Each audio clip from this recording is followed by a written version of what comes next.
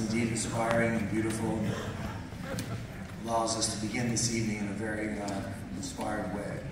Um, so it's great to be back at the park, right? It's such a wonderful facility, right? Such a wonderful facility and now an officially recognized Florida Heritage Site. Yeah. So it's my honor to recognize Vice Mayor Steve Glassman and the commissioners. Uh, Vice Mayor Steve Glassman, please stand. Commissioner Burks, Cameron Beasley Pittman, and Dr. Warren Sturman. Thank you so much. I'd also like to introduce our acting city manager, Susan Grant, our city attorney, Tom Ansbro, our city, our city clerk, David Soloman, our city auditor, Pat Reilly. Let's give them all a round of applause for their amazing dedication and hard work. Please be seated. So let's also take a moment before we begin uh, tonight's uh, program to remember the tragic loss of life and property of those across the South as a result of Hurricanes Helene and Milton. Our emergency responders and public works crews put in long hours to make sure we were ready for Milton, but thankfully we were brushed off by the very outer edge of these storms. But some of our rescue personnel have already headed upstate rendering assistance, and we thank them for their service. In 2020, 2024 has been a, a year of remarkable progress for the city of Fort Lauderdale. So here's just some of the excitement that we'll discuss in more detail tonight. Beginning in January, we broke, the, we broke ground on the construction of the new water treatment. Now, as we near the end of the year, we are opening the renovated War Memorial Auditorium through a partnership with the Florida Panthers. Did you all get to go see it? Was it amazing? Soon we will open the new Las Olas Marina, and on October 18th, we'll be, unveil our completely transformed DC Alexander Park. You know, too often we pause, or I should say we don't pause, and recognize the extraordinary successes that we have made this past year. The accomplishments can become lost among the very busyness of everyone's lives and schedules, and they don't fit the current mold of media sensationalism. And sometimes they unfairly fall victim to the increasingly divisive world of gotcha politics. So let's celebrate the improvements that have occurred over the past year and the accelerated pace at which we have challenged ourselves in accomplishing the goals that we need to.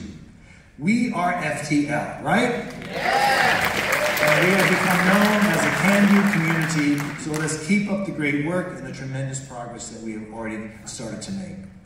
Now, did you know that in the past six years, we've committed, committed an investment of more than $1.6 billion directly to infrastructure upgrades? We listen to our neighbors, our utility systems flood controls are rapidly being modernized to bring the best level of service possible to our neighborhoods and our businesses. In fact, in just the past 12 months, since the last State of the City address, we have launched more than $321 million in water and sewer improvements and $70 million in stormwater improvements alone. That's amazing. These are serious investments. These are serious investments to deal with serious challenges. Challenges we'll meet and beat.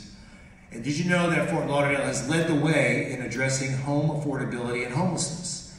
Or that, or that our efforts to maintain clean waterways surpass any nearby community? It's true. Also, we've added more police officers and firefighters and are paying them good salaries to, to for their deserving dedication to our city and to keep them on the job. Let's give a hand to all of our first responders.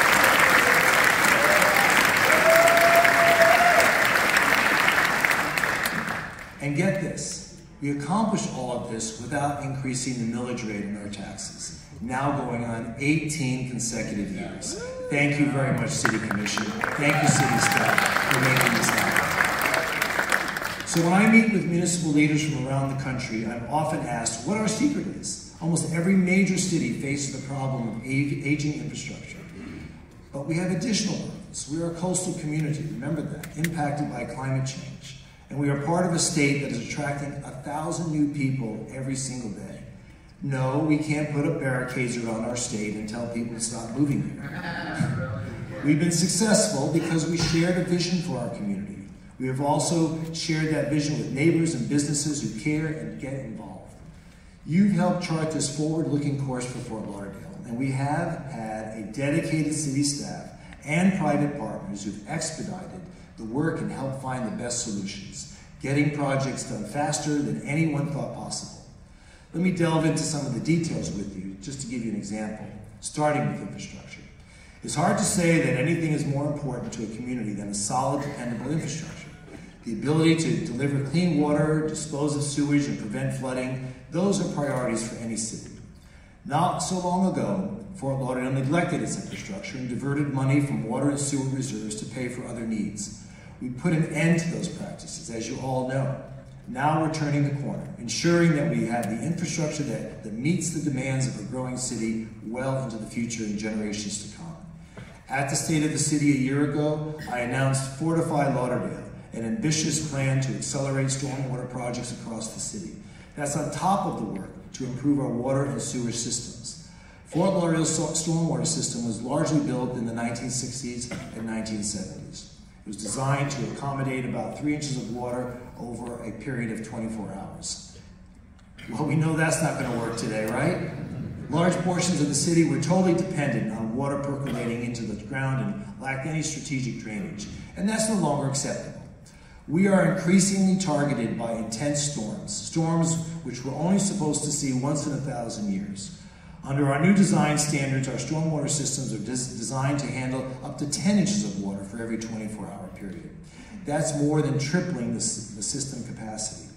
Projects include a wide variety of infrastructure features, more catch basins and connected underground pipes, larger pipes, tighter tidal control valves, pollution control baffles, water quality devices, enhanced swales, pump stations, and better seawalls.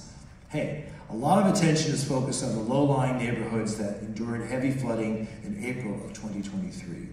We took immediate action and now are working on the future.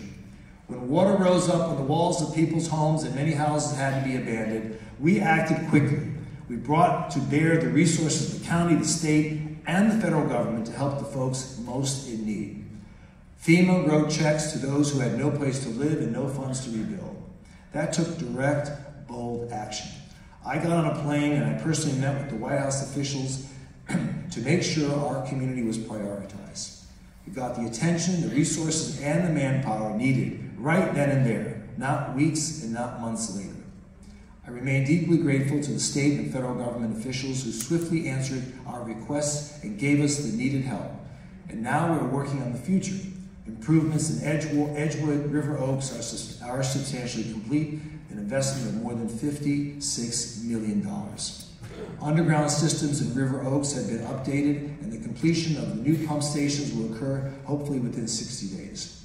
But let's talk about Osceola Creek, which overflowed, surrounding all the surrounding neighborhoods, has been dredged to reduce the flooding risk, but still more work needs to be done to ensure the creek does not flood in the future and again threaten the nearby residents. At this point, I call upon Broward County our partners to improve the drainage system at the International Airport. And I also call upon the state to redirect drainage off of I-595 rather than flood into these neighborhoods, which impacted them severely. It needs to be done. Another $46 million in construction is going on in the Durrs and Dorsey Riverbend neighborhoods and will be completed in the next year. The replacement of six seawalls in the southeastern Isles is substantially complete.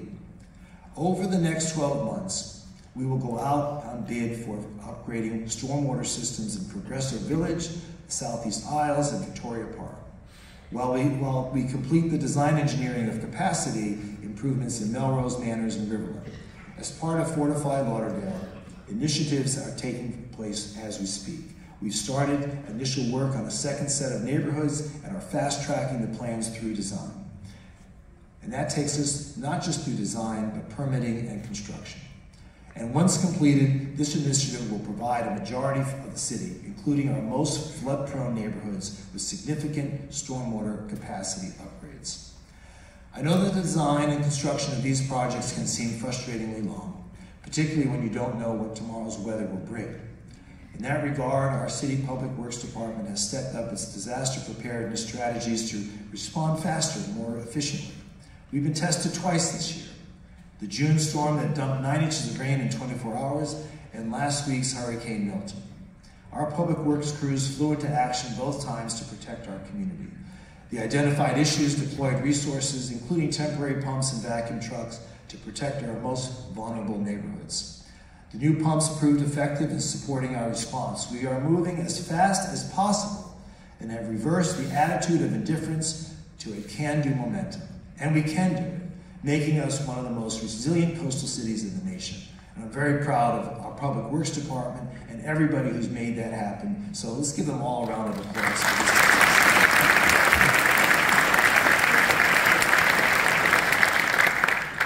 Our water and sewer systems also continue to undergo major upgrades. Since I became mayor six years ago, the city has constructed more than 19 miles of water pipe and 17 miles of sewer drain.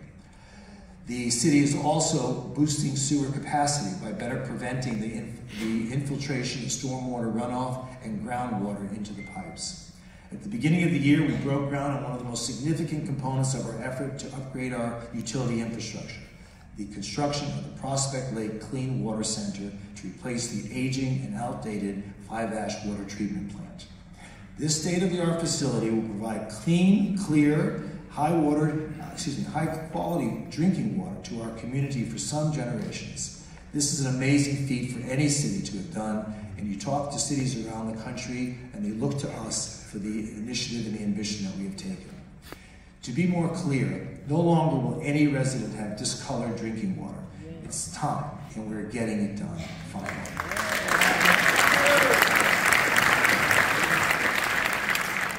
And also, with all these hurricanes, it's being designed to withstand a Category 5 hurricane. A lot of water treatment plants, including Fiveash, would not have withstood a significant storm.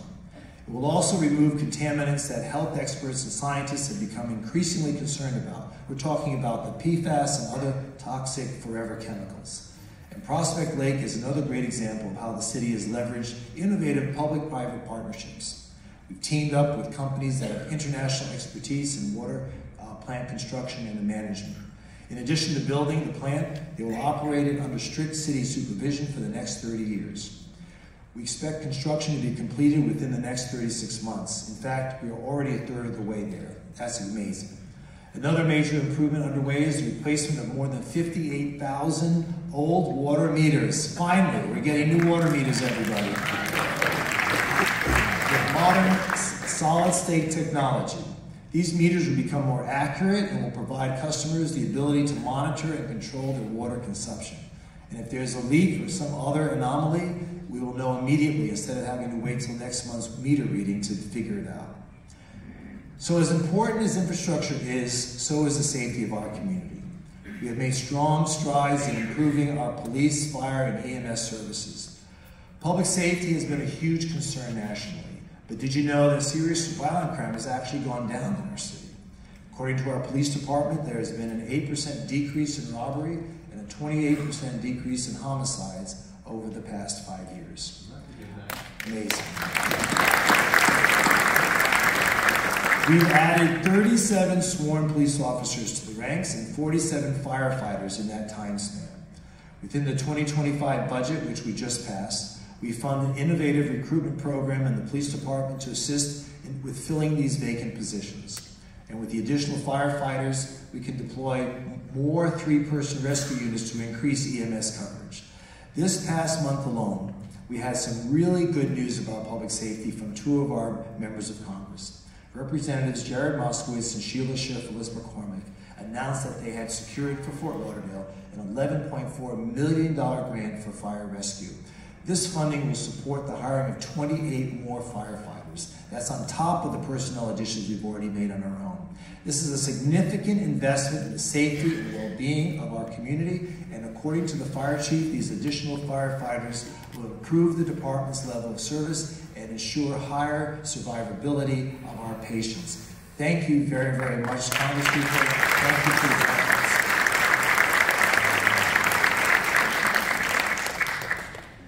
In thanking both the both uh, Congress people, we have to also thank the, the firefighters and the, uh, the folks that helped make this uh, application for the grant a success. So it was a team effort.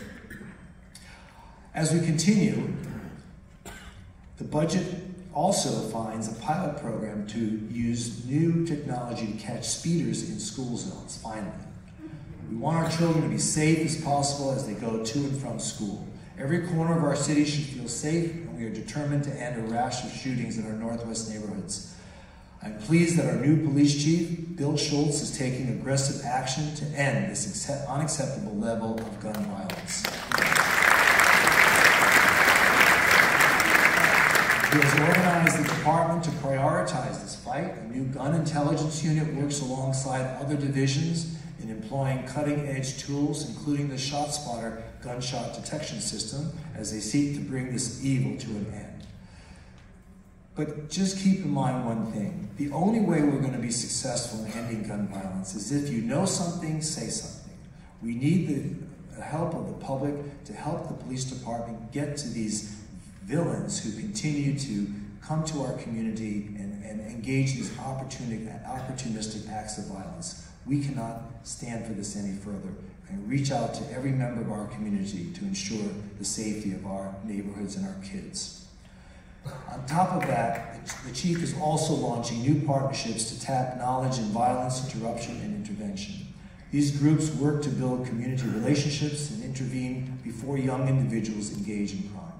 And our police department is building better bonds with our residents. As a result of our participation in the leadership program run by the Kennedy School at, at Harvard University and the former New York Mayor Michael Bloomberg's charitable foundation, the city has been working on an initiative on improving the public's perception of safety and making it a reality. This, uh, I'm proud of our police department and the men and women who work very hard every day to protect our families and our property. They will, and guess what? They're soon going to have a new home. Have you been by there yet? It's great. Construction of our new police station is well underway and will be completed next year.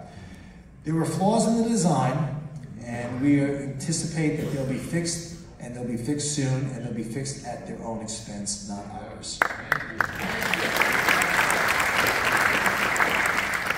And we'll soon have a safe facility, one that will also be able to withstand serious category four and five hurricanes, which today the existing facility would never have been able to withstand. The new facility will meet modern public safety needs with updated technology and better access to training. The old headquarters was 60 years old and was considered obsolete. I can't wait to cut the ribbon on this new building, the long, long, long waited improvement. Our response capabilities and fire rescue have continued to improve as well. Fire Station 13 on the Barrier Island has relocated to a temporary home, while a new station is built next to Birch State Park. A new Station 88 serving Rio Vista and other areas south of the New River, is entering the design stage. So work is set to begin early in 2025 on Station 117, just off of Las Olas Boulevard. So any discussion of public safety is not complete without addressing the problem of homelessness. No one can, can look around South Florida and not be concerned. The city has worked for years to deal with homelessness compassionately by identifying housing options and enhancing opportunities to help those who are less fortunate of our society overcome the underlying reasons for their situation. But frankly, we have gone much further in our efforts than any surrounding community. But we are at a crossroads where public health and safety are being impacted negatively despite our best efforts. Last year alone, the police department and the fire rescue responded to more than 11,200 calls related to homelessness. I share the public's frustration with the aggressive panhandling and the number of people camping on the streets and bus benches, outside of businesses, and on the beach. No one wants to criminalize homelessness, but a get, get, uh, get touch, tough approach is the only way we're going to be able to resolve this. The city of Fort Lauderdale has made substantial progress on a bold new initiative in recent weeks. The state has mandated municipalities across Florida to become more assertive in dealing with the national crisis, and we are determined to lead the way here in Broward County. Good. Let it, yes. Let it be known Let it be known that we will help those who want help, but we will not tolerate behavior that harms our overall community and threatens neighbors and businesses.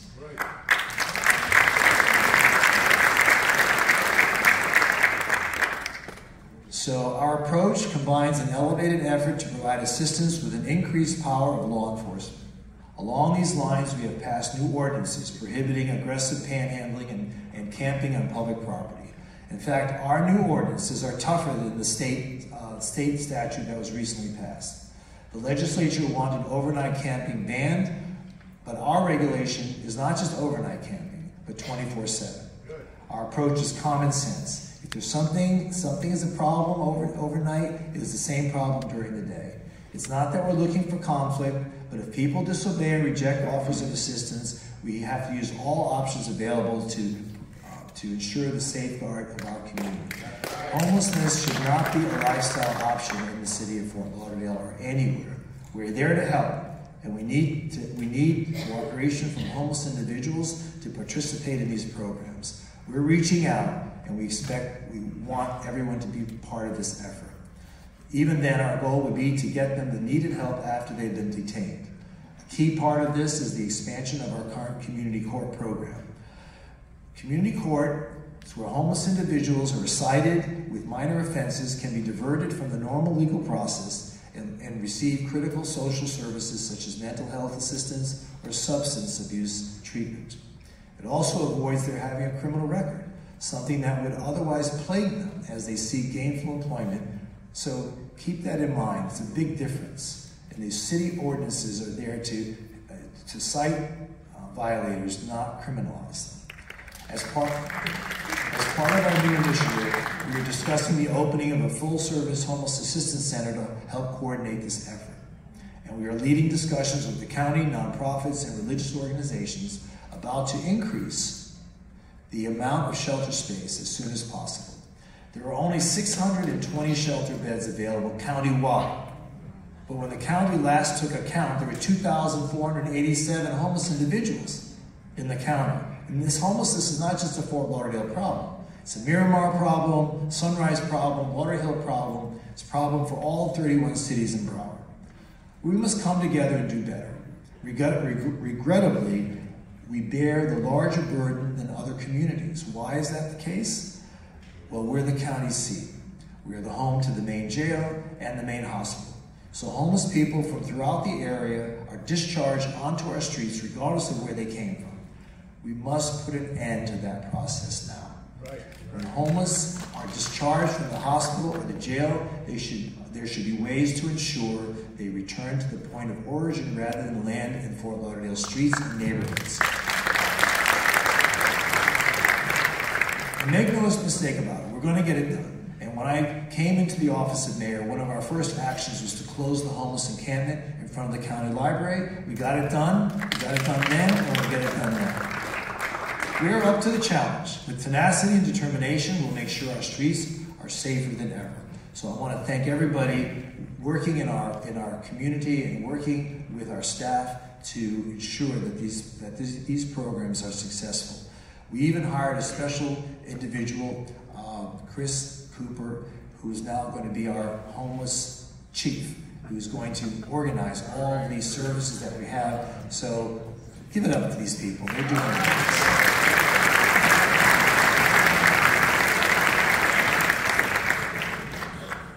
Our motto has long been that Fort Lauderdale is a great place to live, work, and play. What we have to offer residents and visitors is obviously truly remarkable. We are far, far, far more than just our beaches and our warm weather. We are becoming known around the world as a cosmopolitan community that has so many amazing things to enjoy. We started with the construction of our soccer complex with the Inter Miami professional soccer team. The stadium was built at no cost to the taxpayers and is now owned by the city. The project included not just the stadium and the facilities for the team, but a youth soccer academy and a football field for two of our high schools, all funded by the team itself. Construction will soon begin on an adjacent city park, a dog area, playing fields, and a community center. We are finishing the design as we speak. Then came a reconstruction of our world-renowned aquatic center and its new iconic dive tower. It is the tallest regulation tower in this hemisphere. Best of all, the center is open to the public seven days a week. While I might take a dip in the pool, I'll leave it up to you to go to the tower. uh, I'm not as daring. Now, look at what has occurred the past year beyond those signature projects. We've entered an agreement with the Orange Bowl Committee to upgrade the uh, Evert, excuse the Jimmy Evert Tennis Center in Holiday Park. And I see Jack Sauer sitting here in the front row, and thank you, Jack, for participating and making that happen.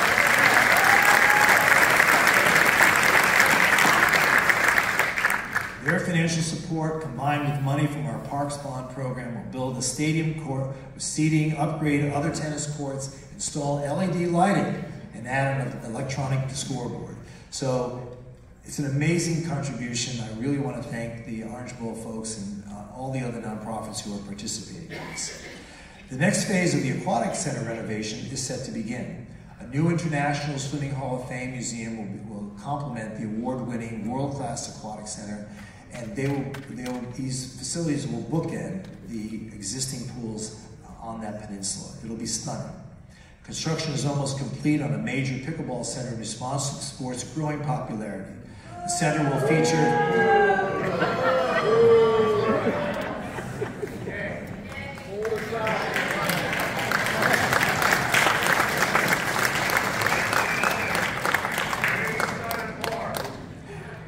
center will feature 43 professional courts and a dedicated pickleball stadium along with a fitness recovery center, locker rooms, pro shop, 14 weatherproof courts for casual and competitive play.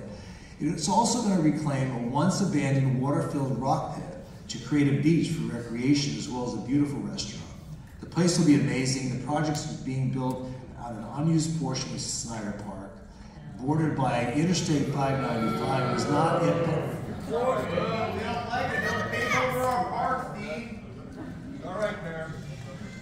Thank you. You're welcome. The center is almost finished, but it is being completely financed with no use of tax dollars. And of course, there, there is there is where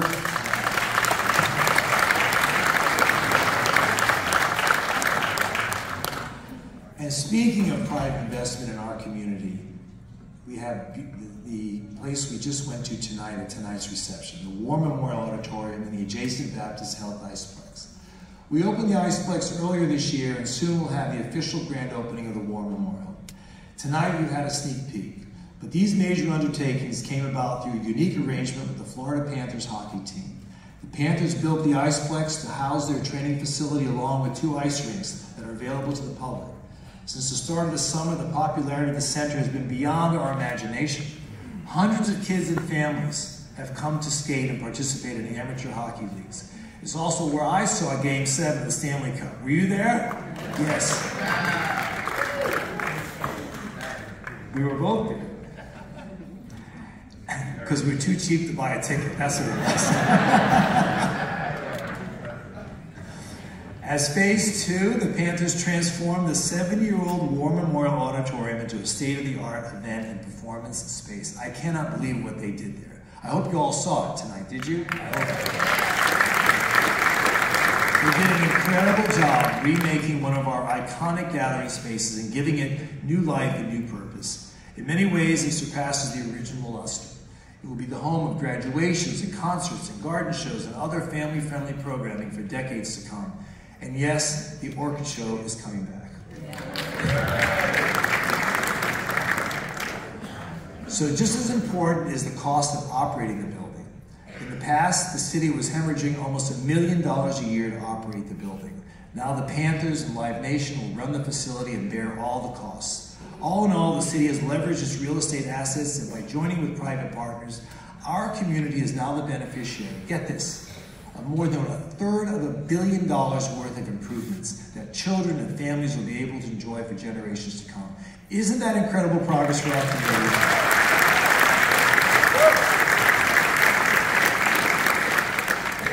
Who would have imagined that 10 years ago that Fort Lauderdale would be the place where Leo Messi and a team owned by David Beckham would make the Major League Soccer playoffs and where the Florida Panthers would celebrate their first ever Stanley Cup victory right here in our backyard. Let's just take a, let's just take a look and see a short video of that wonderful moment.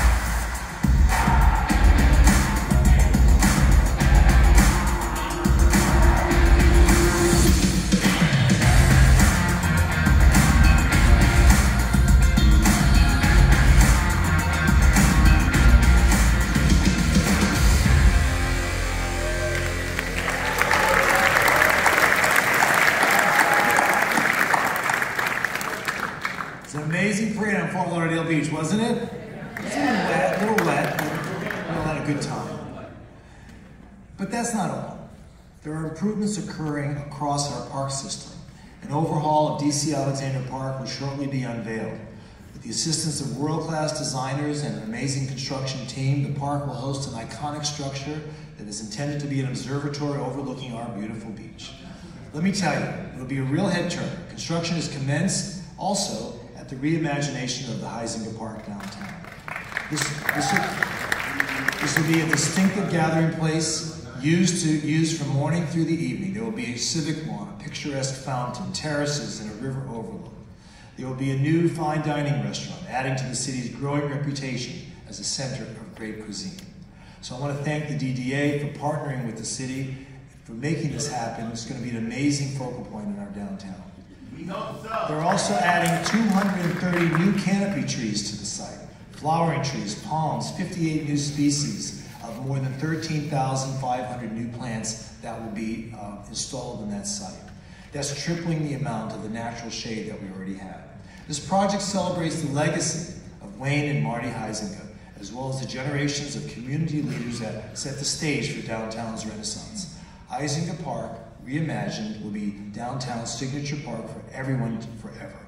Through the Parks Bond program that voters approved in 2019, we have already upgraded many parks citywide. Bond improvements in 47 other parks are in various stages of design, permitting, and construction. We also purchased land to add parks in the Bal Harbor neighborhood, Sailboat Bend neighborhoods, and I'm proud to report that we have now successfully negotiated the reopening of the Dottie Mancini Park with Broward Health System.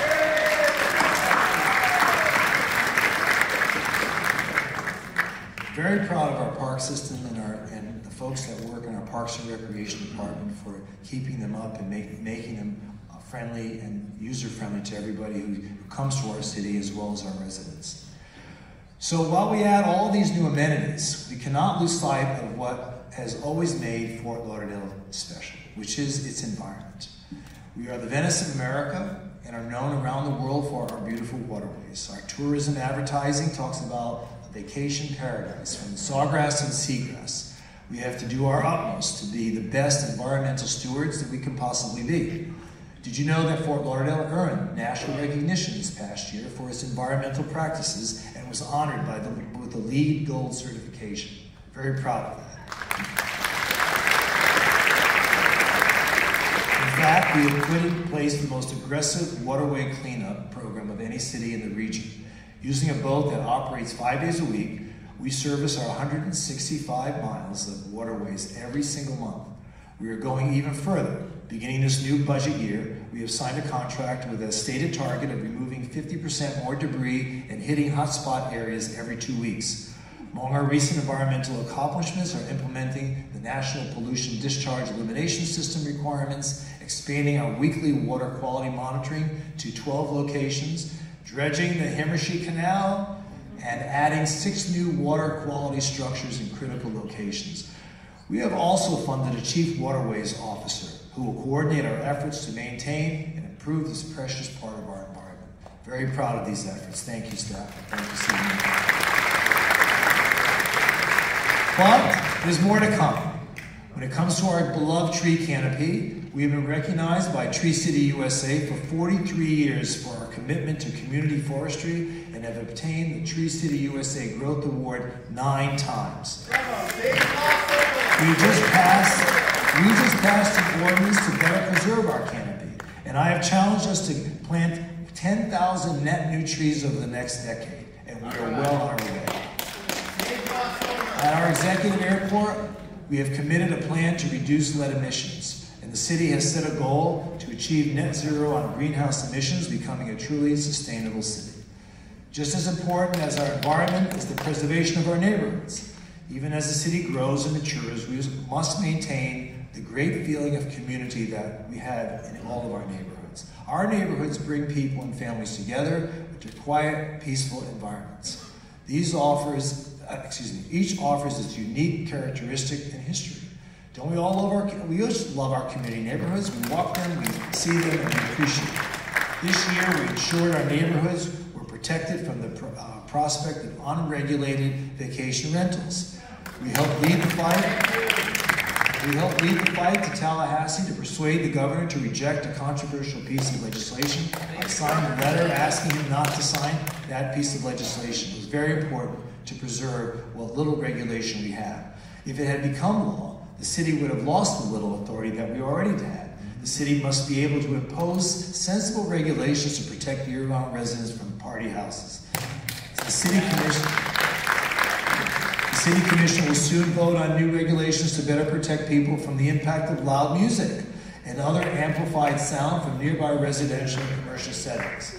We are determined to strengthen these requirements as residents have asked. We've approved the Strategic Historic Preservation Plan, one state aid to approve Breakers Avenue, are working on safety improvements on Galt Mile Street, and are collaborating with the state and county to add new crosswalks downtown. We've upgraded the streetscape along State Road A1A and the Central Beach. We're also adding dozens of new streetlights around the city. In conjunction with residents living there, those who came up with the money, we have completed the undergrounding of utility lines in the Las Olas Isles neighborhood. Finally!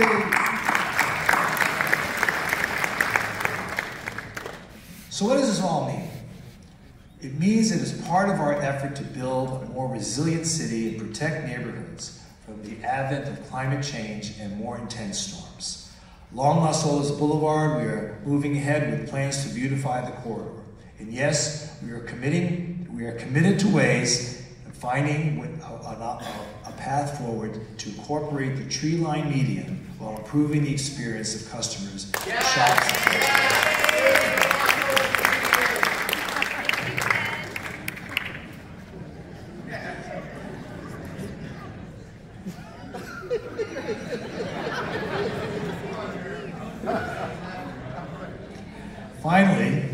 the city is working on a comprehensive plan to upgrade our sidewalks, and we're going to fund. We're going to find ways to fund this need to work. We've had many conversations with the commission.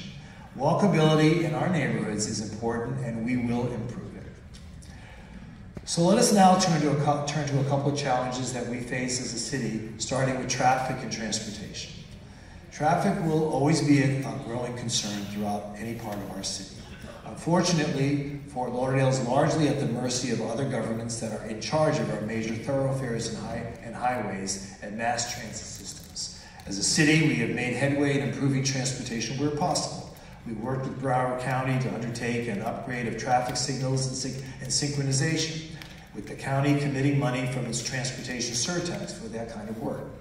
They plan to deploy new adaptive signal control technology that is more responsive to traffic conditions. Seven such projects are planned in Fort Lauderdale between now and 2026, including Broward Boulevard, Sunrise Boulevard, Commercial Boulevard, and Southeast 17th Street Causeway. In addition, the county is re retiming traffic signals on key streets, including A1A and Federal Highway. That's great news. I'll believe it when I see it, Broward County. but let's hope we can get there and help to reduce traffic congestion. I'm sure you've all seen the new convention center hotel, right? Emerging out of the ground, this great monolith, amazing. The convention center is also expanding. It's truly a world-class project. So as part of the process, and at our, at, at our insistence, the county is building a bypass road through Port Everglades to make sure we don't inundate it with any more traffic on 17th Street. It's expected to open shortly before the hotel. And let there be no mistake about it. That road must be completed and operational before we allow the hotel to open. We will not be giving them the keys to that hotel until we see it, all right? In our downtown, we have reached the design stage of a concept for turning Andrews Avenue and Northeast 3rd Avenue into a loop of one-way street south of uh, Sunrise Boulevard. Now, the original idea of that was that it could improve traffic flow and allow for the startup of a downtown trolley. But nothing's been approved, and we're still waiting for neighborhood input on whether the project should move forward or not. We are working on multiple traffic calming projects, including one on Riverland Road and a major undertaking in South Middle River. We've expanded our LauderGO community shuttle operations, an easy, free, and convenient service for our residents and visitors. It's taking cars off the road. Of course, I cannot discuss transportation in our community without providing an update the matter that I think is of utmost importance to the future of the city. And that is how the planned regional commuter rail system crosses through our downtown. Commuter rail is one of the few options available in making a major dent in congestion across the region. With connections between Miami and West Palm Beach, commuter rail can provide relief overwhelmed north-south corridors such as I-95. It could be a real game changer, a long-term traffic solution offering easy access to the major ports and airports, as well as city centers throughout the three counties. But as I've said for years, the real question is how the train system crosses the New River without harming our vitally important marine industry, increasing street level congestion, or reversing the great successes we have made in building our beautiful downtown. The county continues to want to build a high-rise bridge. The current plan is for a 48-foot high bridge for passenger service and two new water level bridges for the freight lines to travel on. But let's get real here. No matter how pretty they make it look, it will decimate the downtown, the beautiful renaissance that we have spent decades creating. It also will create a permanent wall between communities that for too long have been divided. I simply cannot believe their design. Hey, I'm no Pythagoras, but they say that a 48 foot bridge the incline between Broward and a 48-foot bridge could be accomplished at a 3 to 4% incline. I find that a little hard to believe. Moreover, they would use, excuse me, they would use all of the existing railroad right of way. So some of our new residents who live downtown would have rail cars running inches away from their balconies. And our historic district will forget about it. It would sit in the shadows of a concrete and steel overhang. We can do better so many trains would cross Broward Boulevard and other streets daily that traffic would come to an almost round-the-clock standstill. We're not talking about just Broward, we're talking about commercial boulevards, Sunrise. We need to think this thing through. So they say, oh, we'll build an underpass on, later on at Broward Boulevard. Later, when is that? They also don't include the cost of the new train station to, uh, of the commuter rail line. Why have there not been real price comparisons? All these new bridges, the underpass, the train station, how much does it all cost when you add everything up? And another problem, let's say you build an underpass uh, for Broward Boulevard to go under the train tracks. We would have to shut Broward Boulevard down for two years. Imagine. And the marine industry. Well, I'm not sure if it would survive. Boatyards upriver have told us that they would have major difficulties servicing large boats if the bridge planned by the county is built. If they move their operations to other cities or other states, there goes thousands of jobs and billions in economic impact. Folks, we deserve better. Let's keep up the fight for the only real solution, and that is our tunnel. Right?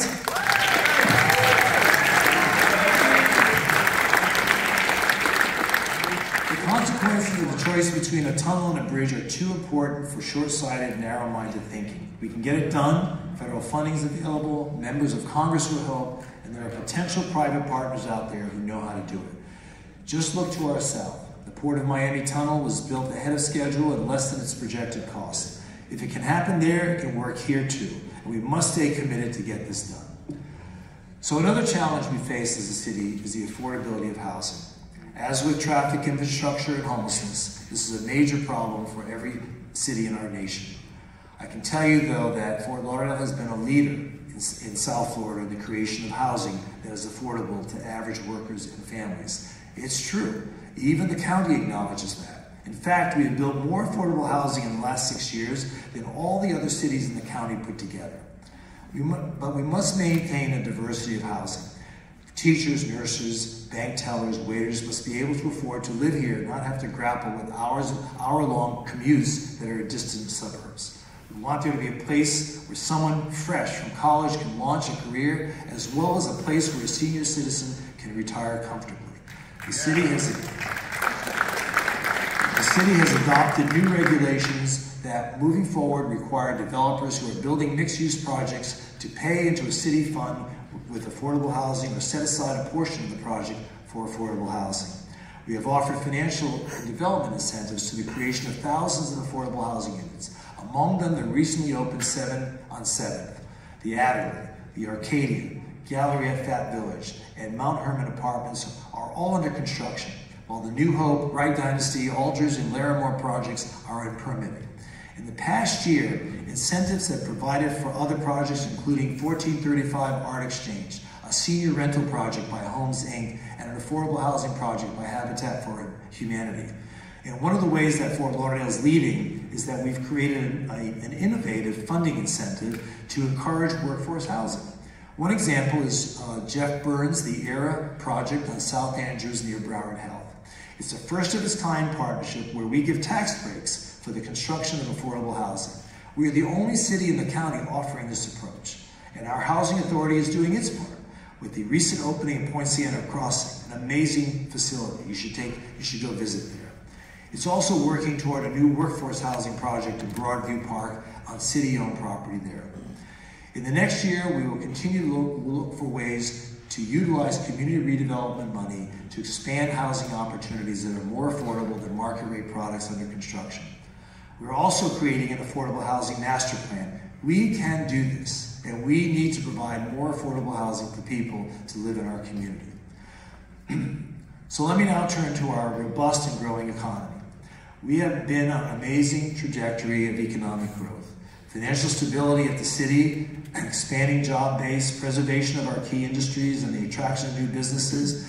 This month is the start of the city's new fiscal year, and it represents the 18th consecutive year that the city has approved the budget without an increase in property tax rate, as I mentioned earlier. this has been an accomplishment while still meeting all the major community goals that we have discussed so far. Those include improving public safety, upgrading our infrastructure, an aggressive and proactive stance on homelessness, enhancing our environment, protecting the unique character of our neighborhoods. Hey, that's great news for families who struggle to make ends meet, and we're very happy to be the leader in this effort. In fact, Fort Lauderdale is the only city in Broward County that has been able to avoid a tax rate for this length of time.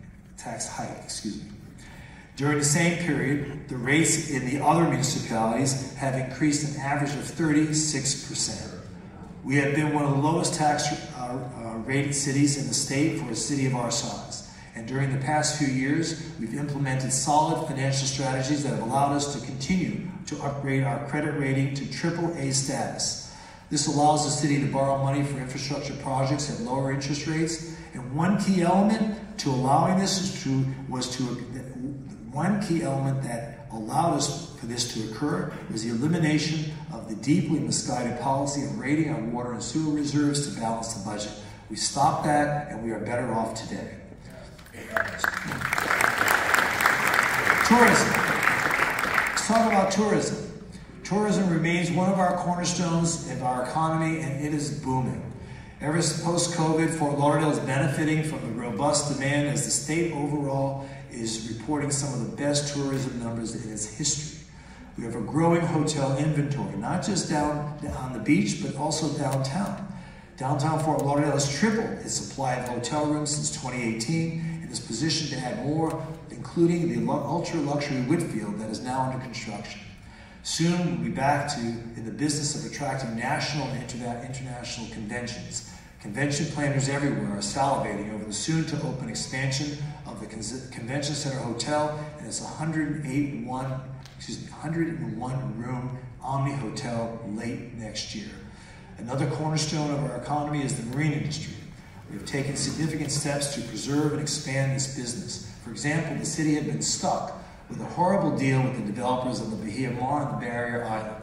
They had all the approvals necessary to pack the peninsula with apartment buildings. The future of the Fort Lauderdale International Boat Show, with its annual impact of 1.3 billion, was in serious doubt. The prestigious event, the largest outdoor boat show in the world, was being shoved into a parking garage over the objections of the organizers. Fortunately, we were able to sit down with the developers and come up with a much better plan. We cut the project in half, added a luxury hotel, and permanently created an open green space for the public where none existed previously. But most importantly, we secured the site as a permanent home for the boat show. We also established a revenue. We also established a revenue stream to help pay for city services for decades to come. We're going to be making a lot more money there than we did before. Almost a billion dollars in revenue will be coming to the city over the lifespan of this agreement. A billion. I was proud to open the first phase of the project with the commissioners, uh, and that occurred last month with the incredible Marina Village, filled with a fabulous array of, of restaurants and boat for boaters and uh, beachgoers to choose from. Did anyone go to the Marina Village yet? It's an amazing place. We're also about to cut the ribbon on a major upgrade of the Las Olas Marina. It's another example of how the city and the private sector can work together to bring about improved opportunities for economic development and exciting amenities for our community. More than seven years ago, we began discussing options with neighbors and leaders of our marine excuse me, of our maritime community. We believe the marina was underutilized and in need of a major facelift. New facilities doubles the dockage capacity, allowing more and larger vessels to dock there. There'll also be restaurants and other features to attract yachters from around the world. We accomplish this by a unique plan to dredge out an old city parking lot, making room for this expansion. We will remain the center of the marine industry for yachters and decades to come, and we will not let anyone surpass us. We've been working hard to add another major industry to the mix of the local economy. I'm sure you've heard about this. Florida has been, uh, become the major destination for film and television production. Yeah. Right? But we lost some ground when the state took away some of their incentives. But we've been fighting back, our way back to uh, trying to get the attention of those in Hollywood, and I think we're getting there. Just this past year, we surpassed the $80 million mark in film permits issued in our city in the past year. This remarkable achievement is the city's position with the industry so that we can attract more projects. The local economy has benefited through the creation of job opportunities for 2,825 local crew members. These productions included Bad Boys, Ride or Die, and commercials for companies such as Volkswagen and Wells Fargo. It's amazing just what we've done so far. Soon a project will get underway that will accelerate our move into the media industry, taking us to the next level and, and what and, excuse me, and what we have to offer producers. Construction will begin next year on a large-scale, high-tech um, content creation studio complex for movies, TV, streaming, gaming, esports, metaverse, and immersive experiences. It Sounds like we're going to be we're going into the 21st century all, on all fours. The sound stages, film sets, film sets attract, will attract even more film. Television streaming productions as well as the latest immersive content. This facility will be developed by, on the old Wingate uh, landfill Superfund site. The city cleaned up that property decades ago, but no one was ever interested in doing anything there until a group of entertainment executives stepped forward with a one-of-a-kind partnership offer. We announced earlier this year that the primary tenant will be Infinite, Infinite Reality, and that will and that company will create, at its current estimates, more than a thousand high-paying jobs. Those are jobs for young people, good jobs that will allow more of them to stay here rather than move away. And there will be jobs that will be uh, drawn from people who live in the community around the site, which is very, very important. And Infinite Reality also did one, one step more. They have announced a partnership with Google. Google, you've heard of Google? Google's tech, yeah, Google it. Uh, Google's tech will be part of the Infinite Reality Studio Campus projects. It's an amazing opportunity for our city. The partnership joins together Google's Gemini AI with Infinite Reality's immersive technology to power a wide range of commercial content, both for both for commercial and entertainment.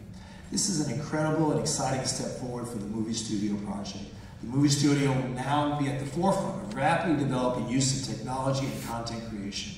I fully expect that this will open the door for more tech and content creation firms to move to the region with good paying jobs as they take advantage of the presence of the Infinite Reality team and their relationship with Google technology. This is truly transformative for our city. So talking about all right, so talking about transformative, what about our downtown? In the past year, downtown Fort Lauderdale has added over 3,200 jobs. Amazing. It's a 5% increase since 2023. This growth is impressive, something that most major downtowns yearn for. Having housing so close to workplaces downtown has lured companies to locate there and encouraged those that were already here to expand. Companies are looking at satisfying environments for employees. Downtown Fort Lauderdale has that with its walkability, homes, office, restaurants, entertainment options, and retail shops. Yes, we have emerged out of the shadow of Miami and Palm Beach, and downtown is a family friendly with its share of families with children higher than what you see in the urban core of other rising cities like Tampa, Nashville, Nashville, and Austin. How many times do we see baby strollers going down, down the streets of Flagler Village? It's amazing. The number of children under five years old living in the large cities across the country has been declining in double digits, but not in Fort Lauderdale. One out of three families in our community have chosen to live downtown. The Northwest Sistrunk area has also made tremendous progress through our efforts uh, through our Community Redevelopment Agency, our CRA. Not only is the new housing begin uh, being built there, as I discussed earlier, but older homes have been re renovated and new commercial enterprises have opened. The YMCA is a significant addition, and we continue to add healthcare and education op options to that facility. But our work there is not complete. The CRA will soon sunset next year. We must find ways to continue to invest and finish the vision that we have spent so long on making into a reality. Extending the term of the CRA would be one such option. Friends, we have phenomenal progress on infrastructure, public safety, the environment, amenities, housing, and economic opportunities. Look at how the world envisions us. We're listed among the best cities to retire, the most fiscally fit cities, the best places to live in the top 18 hour cities, just to name a few of the recognitions. We are a vibrant, diverse, and growing city. And as I look around, I see a community brimming with pride and resilience and unparalleled spirit. Our city is not just a place on the map, it's a living, breathing entity driven by passion and dedication of its people. As we move forward, let us remember that the strength of Fort Lauderdale lies in its neighbors. As your mayor, alongside with my colleagues on the commission and our staff that work day in and day out tirelessly, we are committed to progress. We are committed to results. We are committed to providing the kind of leadership that gets things done. Together, we have overcome challenges. We have celebrated successes. And we have built a community that stands as a testament to our collective effort and determination. The road ahead is filled with opportunities. With our continued support and involvement, I am confident that we will achieve greater heights. So tonight, I just want to thank you for your unwavering commitment to our city. Together, we are shaping a Fort Lauderdale that will shine brightly for generations to come. This is an incredible and unique community. When we say we are FTL, this is an immense sense of pride in our city, our neighbors, our businesses, and our employees. Here's what we are. We are FTL. This is what it means to us. Let's pause a moment for our video.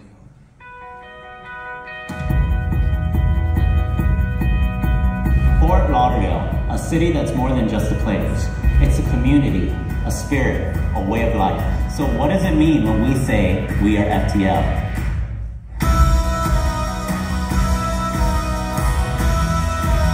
Being FTL means keeping our community safe, day in and day out. Being FTL means growing together. Our businesses and our people thrive side by side. Friends, Being FTL means community, where neighbors become friends and everyone feels welcome. It's taking pride in the little things, keeping our city clean and beautiful so everyone can enjoy it. It's about hard work and making sure our city shines every day.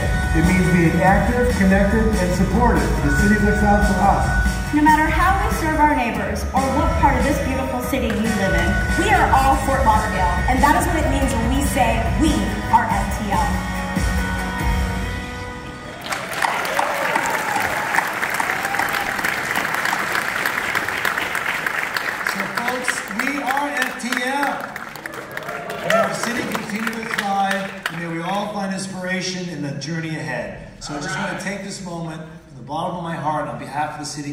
Our staff here in, in our city. Thank you for coming tonight, for being part of this wonderful evening, and let's go out, walk, be safe, and be appreciative of all the wonderful things that life has given to all of us. So God bless America. God bless our troops, and thank you everyone